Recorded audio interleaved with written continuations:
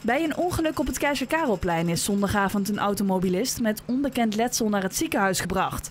De man raakte van het Keizer Karelplein ter hoogte van de Bisschop Hamerstraat. Alvorens de auto op zijn kant kwam te liggen, kwam het voertuig in botsing met een geparkeerde Peugeot. Hoe het ongeluk heeft kunnen gebeuren is nog niet duidelijk. Of er alcohol in het spel was, is eveneens onduidelijk.